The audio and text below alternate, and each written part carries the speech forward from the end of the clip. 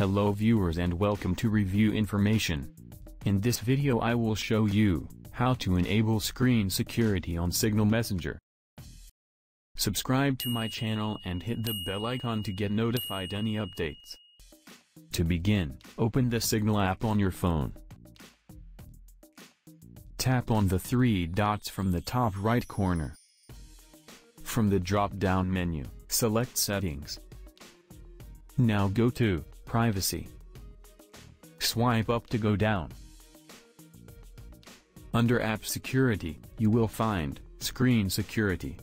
If you enable this feature, it will block screenshots in the recent list, and inside the app as well. Now toggle the slider to enable this feature. And you will see, the screen turned into black, because this feature will prevent screenshots and screen recording, on your own device also. So in this way, you can enable screen security on Signal Messenger. Thank you for watching. Hope you guys enjoyed my video. Please subscribe my channel for more videos. Goodbye.